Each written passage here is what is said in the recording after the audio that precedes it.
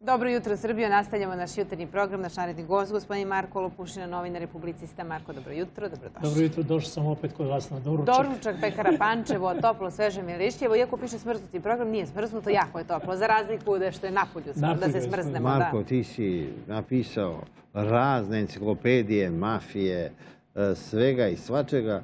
Ranije mafijaši, e, oni su bili neke tabađije, većina njih nije uspjela da zaradi ni za sobstvenu sahranu, morali su prijatelji da ih sahrane. Međutim, ovi sad moderni e, mafijaši koji ubijaju pored najljepših zgrada na Vračaru, na moru, e, koje ubijaju po evropskim prestonicama, to je potpuno nešto drugo. To su ljudi od biznisa, to su kao korporacije. Iako se to vodi kao škaljarski, kavački klan, kao dva sela na ulasku u Kotor, međutim to deluje kao multinacionalna kompanija. Naravno. To je multinacionalna kompanija u kojoj su vlasnici i suvlasnici Crnogorci i Srbiji, odnosno Srbiji i Crne Gore i oni koji se sebe nazivaju Crnogorcima. I ovaj, mi i, Srbije, Srbijanci, svih naroda i narodnosti e, rade za kokain, heroin, sve druge e, narkotike, i dobar deo profita ide političkoj eliti koja ih podržava. Dobro, ali postoji priča da kokain rade e, Srbi, Crnogorci i Hrvati, a da e, heroin rade Albanci, Bošnjaci. Čekaj, je to ostalo tako? Nije to tako, naravno, zato što je danas multinacionalna kompanija Hidra koja svuda ima svoje pipke. I ne možeš ti danas da prođeš kroz Albanu ili kroz Kosovo ako nemaš saradnika Albanca, iz Albanije ili sa Kosova. I postoje neki kanali koji su multinacionalni. Ali koji su zaštićeni, zato postoje ti kanali. Nisu oni izmišljotina da ti sa magarem, magarem možeš da pređeš u Albaniju, da uzmeš marihuanu i da je prebaciš ovaj, u Podgoricu. Nego ti tu imaš gardu koja to čuva. Imaš graničare, narkodilera koji čuvaju. Imaš vojsku, imaš... Imaš vojsku, imaš sistem obezbeđenja, i... imaš elektronsku zaštitu. To su ozbiljne organizacije zato što se samo u Srbiji od narkotika okrene 26 miliona evra godišnje. Samo u Srbiji. Mnogo više. A na celom... Kako 26? Ja očekujem milijarde. Da je to veće... Na celom Balkanu se okrene 80 milijardi. U celom svetu od 2.500 do 3.000 milijardi donose narkotici. A ceo Balkan, naravno, tu se podazume pre svega albanska mafija koja pokriva ne, Meni, meni se srušili svi snovi, pošto čitam zagrebačku štampu i tamo ispade da je vođa Pink Panthersa zapravo neki Hrvat, da je, da je vođa uh, Šarićevog klana, neki Hrvat, Slovenac. Uh, mi uzeli su nam najsvetije stvari. Na kraju će biti neki Hrvat i Slovenac, vođa iz Škaljarskog i Kavačkog klana. A evo ova dvojica koji su stradali u Atini imali su hrvatske pasoše. Ne, ali, ne, policija... ne, svako ima hrvatske. Ko drži do sebe, svako ima hrvatske. Ali to je smešno. To je smešno. Ti, ti si e, Milan Marić i uzimaš e, Milan Mrkušić iz Hrvatske pasoš, ulaziš u Grčku ili u Tursku, oni ti skeniraju pasoš i čim ti vide ići na kraju, znaju koji si golub. Odakle si. Evo vidimo, Trump je zabranio znači, da svaki crnogorac iako je Crna Gora u NATO paktu posle zaplene milijardu droge u Filadelfiji, znači svaki crnogorac je sumnjiv. Da. Čim vide da je iz Crne Gore, odmah posebne mere zaštite. Ali, ali, ali Amerikancima nisu sumljivi njihovi državljani koji odu u Crnu Goru, ponesu uh, ugovor od 100.000 dolara kao rade biznis i onda dobiju crnogorski pasoš. E sada, kako se svi oni špioniraju? Kako su Evo, oni sad, ovdje smo vidjeli, e, policija nikako da e, demontira šifre njihovih telefona. To... Iako kažu su male šanse da se u tim telefonima kriju neke zapravo informacije, kojih ih ubiju, koje naredio ali oni su šifrovani, egzekuciju, ali pa oni imaju kripto zaštitu, oni imaju... Na tržištu postoji jako skupi, to su mali telefoni koji E, e, e, nisu za javnost. Se drže ne, vidio sam ja te telefone. Mali, mali tako crni, mali crni telefoni, meni je prijatelj iz Švedske, iz Švedske stavio na sto i rekao, znaš šta je ovo? Ne, bio sam prisutan. Da. Ja- I- a on, on, on je opterećen sa tim Da. e, bezbedonosnim i novotarijama. Ja nisam vidio manji telefon. Sačekajte, i ovaj kaže- veliki telefon pa nas Google prati, Ne, zna to je kompjuter i to je, naravno, to je, to je, to je kao video smo kamera. parkirali kad smo Svuda, na bome, GPS, sve, unutra i, i svi nas prate. Ali ovi mali telefoni, oni su naravno pod kripto zaštitom, ovaj, oni su neprobojni, barem tako vlasnici kažu, ne mogu da im se skidaju poruke, ne mogu da se prate gde se e, lokacija... Imam ja klasičnu Nokia od 20 dinara, ka- kažu da je neproboj. Ne, da, da. I baterija drži 10 dana. Ali znate što mene zanima sada? Ko još e, koji je e, ugledni švercer kokaina drži bilo kakve informacije u telefonu? Ko to još E pa radi? to su Balkanci, Balkanci tako rade. Dobro, ali- Balkanci kažu da se ne poštuju. Balkanci ne Marko, poštuju stroga... evo, Mariću, smo, kuriri sad rade. Znači, Balkanci ne poštuju svoja stroga mafijaška pravila. Ako ti hoćeš da budeš u šteku, Dobro. odnosno u e, e, nepoznatom stanu na nepoznatoj lo- lokaciji u ilegali, ti treba da budeš godinu dana tamo sam. A ne da se pajtašiš, javljaš i da dovodiš porodicu u Atinu i da oni, Čekaj, da li i da oni prate tvoju porodicu, da li su prate oni u tvog Atini brata, prate pali, tvoju marku. e, preko Majko, to je žena, dece? To je jako skupo, to špioniranje protivnika. Jako skupo. I na kraju krajeva, na kraju krajeva, pošto je to balkanska priča, sigurno da je postoji neki doušnik u porodici koji je dojavio, a evo dame su krenule iz Beograda. Doušnik u porodici. Pa naravno za novac. Šta mu fali da dobije 20.000 evra na ruke ako javi da, Pa ko živ, ko mrtav. da mu rođaka ide, A ide u kakva je situacija to sa ženama i sa decom? Ranije? Žene su i deca najslabija karika, jer mi smo opet, opet smo Balkanci, opet su mi emotivci. Mi ne možemo deset dana, a da ne zvrsnemo ženu da vidimo šta radi, da ne čujemo decu i tako. I tu oni pucaju, tu oni padaju. Na kraju krajeva imali su, pričamo o dvojici ljudi iz Atine, imali su restoran u koji su dolazili i to je navika. Te navike ne smeš da imaš ako ti je život ugrožen. Ne smiješ ti da dolaziš na jedno isto mesto, zato što postoji e, video snimak saobraćaja. Kroz video snimak saobraćaja policija snima vozila i vlasnike. Ima šemu kretanja opasnih ljudi. U policiji postoje ljudi koji sarađuju sa podzemljem i onda tako protivnička strana dobija informacija gde su viđeni, gde Znači, dolaze. ko se ne pridržava pravila? Ko se ne pri- taj strada, nažalost. Taj strada. Ali evo vidimo da- su ubistva u Beču, u Nemačkoj, u Atini, e, ima e, sve manje ubistva u Beogradu zato što je zabranjen ulazak i prolazak granice. E, Stotine ljudi ne može da pređe crnogorsko-srpsku granicu.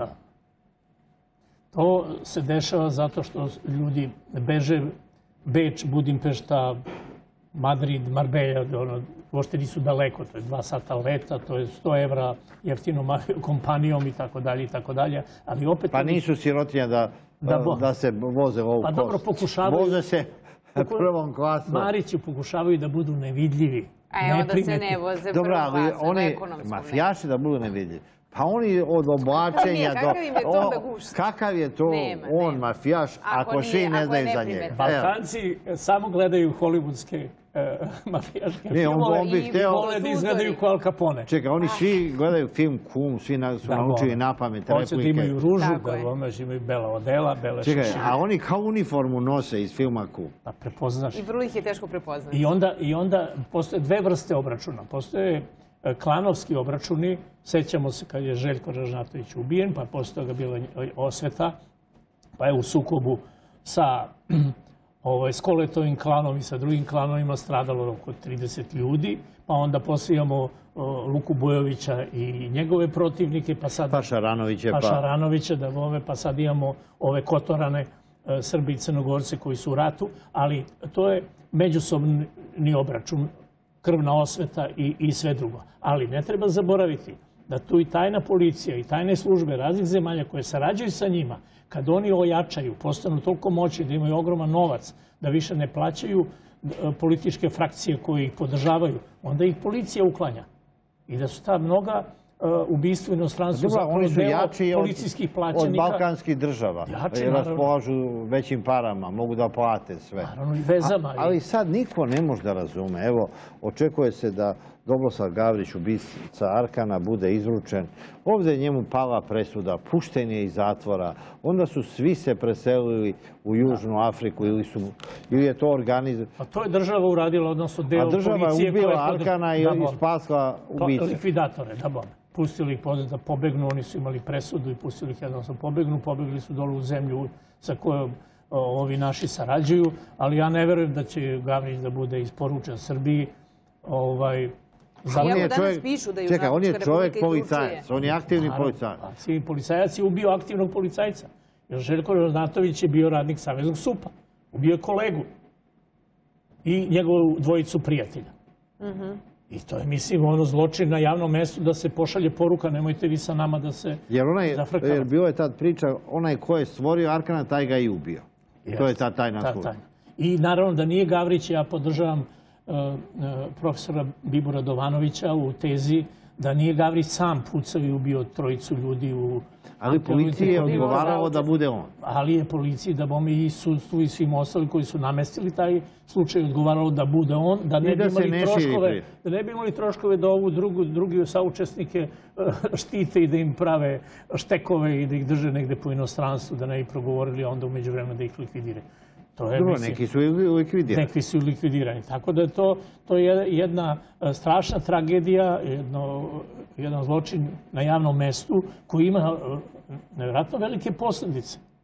Svi govore o Arkanu, niko ne govori o porodici njegovih prijatelja koji su ubijeni. Naravno, Svetlana je zbog e, Željka bila u zatvoru 121 dan. Deca su Arkanova deca.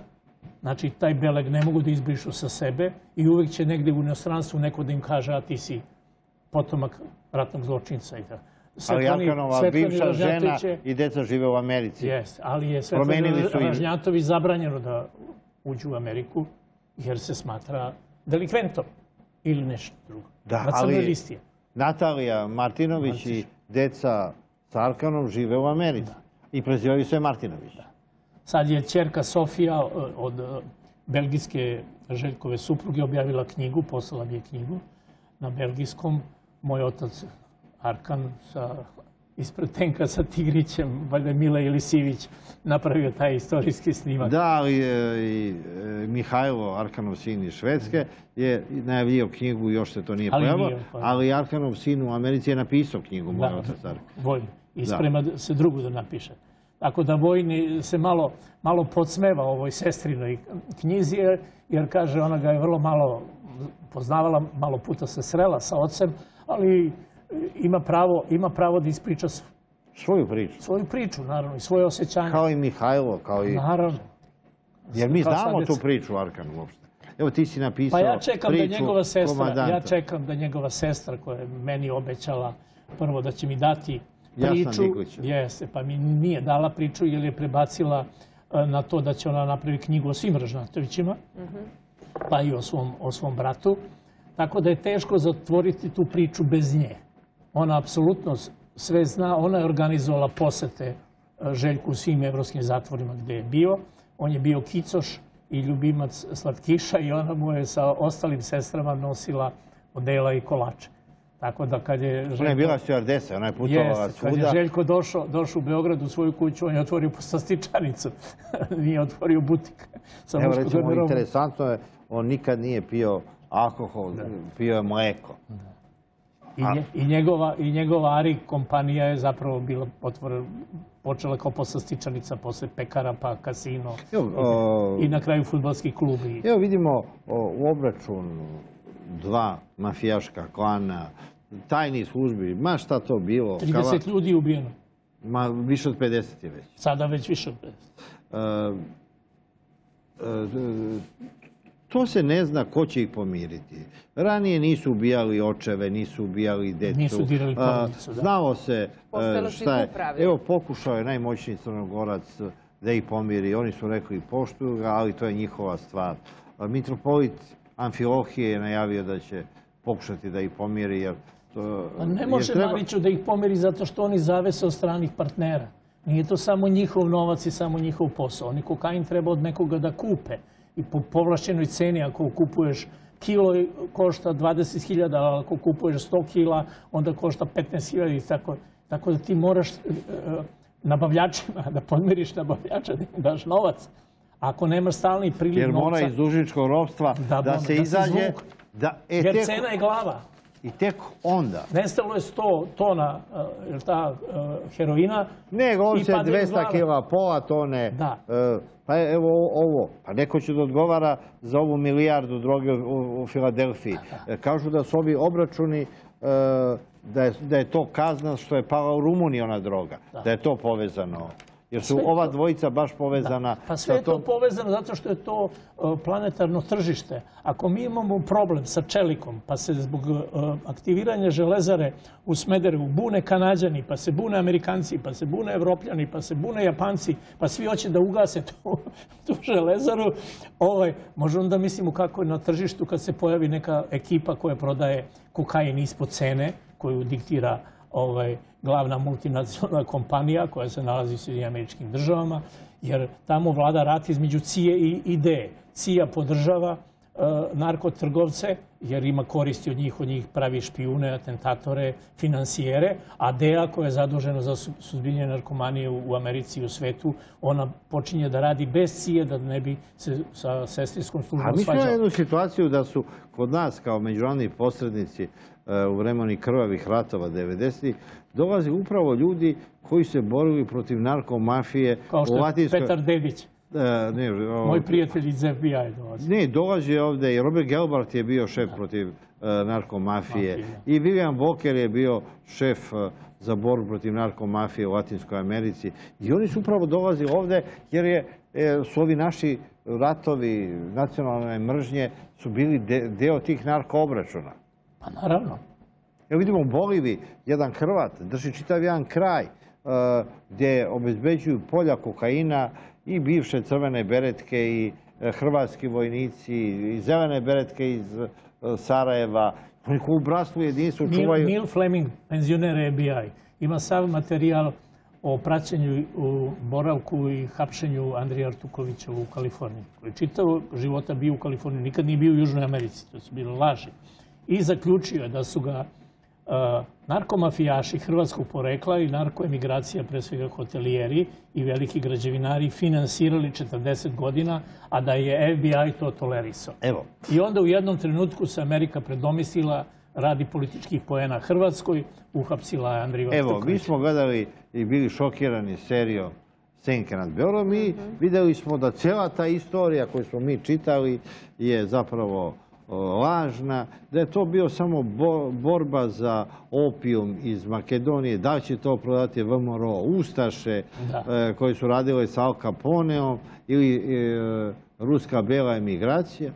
A onda smo čuli da atentator e, i ubica e, Maksa Uburića, najvećeg zločinca koji stavi za Jasenovca i svih tih logora, Ilija Stanić priča kako on imao slike Velaskeza, El Greka. Odakle Maksu Uburiću te slike posle dolaska iz Latinske Amerike? On je bio šef za transport droge iz Latinske Amerike u Španiju i on je to ovaj, Preko drž- kopije umetničkih slika. u, u Valenciji držao, a poslije su nastavili ovi o kojima danas čitamo kad ih ubio. I centar je Marbelja, a onda je bila Valencija. To se sve znalo. Droga je danas jača od evra, jača od dolara. Ona je valuta koja pravi pare. Para koja pravi pare i najbrži biznis na svetu. I 3000 milijardi, ja to ne mogu, to je za mene abstraktna cifra. To ne može niko da mi ali ka- mi smo sva- svesni smo da se Niko to ne može da mi kaže koliko je to. Ali danas se, čini se, više nego ikad i kod nas konkretno a, radi na upravo um, a, sređivanju tih stvari. Evo mi nađemo, nađe se neke a, male količine, pa to je veliki uspjeh. A mi nismo ni svesni koliko to stoji iza zatvorenih vrata i koliko je teško doći do tih voda i kanala. I često čujemo da neki poznati poznati policiji i sveta kriminala, droge, su na ulicama, ali uvijek neki dokazi. Jel to sad taj organ, organizovani dokazi kad kriminal? se Kakvi droga čuva u bankama? Kada mi to znamo, Najte- evo mi sad najteže- pričamo o tome. Naša policija je prošle godine napravila rekord u otkrivanju i hapšenju, otkrivanju količina droge i hapšenju bilo, dilera. Vrlo malo je pravih vlasnika finansijera uhvaćeni jer je teško doći. Ne mogu... mogu to čeka da se nađe ta velika riba. Dakle, Pa na sitni hoće na delu. Na delu. Pa jeste, ali to, to zahteva da ti, na primjer, e, na mestima koje su označena da se okupljaju narkomani i dileri, treba da imaš neprestane racije. A to je za državu stalno Ali evo, skupo. mi znamo poslije 5. oktobra u sefu Narodne komercijalne banke otkriveno 600 kila droga. I kad su bivšeg direktora pitali ko, otkud droga, on kaže policija donela, policija odnela. Da. A Milorad Ulemek je rekao da je to droga koja je preko Drine ušla u Srbiju, pa su oni kao Pa gnjurci su nosili, Pa gnjurci nosili Drine toliko duboka da treba gnjurci da nose. A u stvari to je zapravo bio kapital. ovaj, Službe državne bezbednosti. Službe državne bezbednosti. I na kraju krajeva desilo se jedno vrlo ružno ružno ovaj, delo kod nas, a to je da je napravljen zemunski klan koji je trgovao heroinom da bi preko hero- heroina bila finansirana vlast i ovaj i njene operativne jedinice i politički jastrebovi i na kraju krajeva je e, kuća i bunker u Šilerovoj srušen zato da se ne bi bio krunski dokaz da je to policija sve organizovala. A evo ti si bio tamo i... Bio sam unutra kod, kod Čekaj, zemljaka. mi- Duško Spasović, odnosno njegov otac i majka su iz e, sela Lece kod Medveđe, gde je e, moja porodica Lopušine 906. pristigla iz Crne Gore. I moj otac je tamo rođen. I ja sam imao komšinicu koja je prodavala novine u kiosku ovaj, borbe, Zlata, koja je e, bila dobra sa njegovim roditeljima. I ona je meni ugovorila da ja dođem kod Dušana Spasovića ovaj, na intervju, a šifra je bila Leca. Ali njegovi, Dobro, Otac i majka su živjeli da u su kući. tebe oteli. Ne, to, to me oto čume, nisu, o- ovi me nisu oteli. To sam ja pričao da je tu bilo zagonete. Ne možeš da objasniš običnom čoveku da si ušao jednostavno u dvorac zemunske mafije. Dobro, Marko, nemoj da si tako naivan. Ti si napravio o, intervju u Nedeljnom telegrafu sa nekadašnjim šefom o, Beogradske policije, Boškom Buhke, koji će kasnije biti ubijen, gdje je on go- govorio da postoje privatni zatvori, da postoje e, mafije koje pod zaštitom vlasti.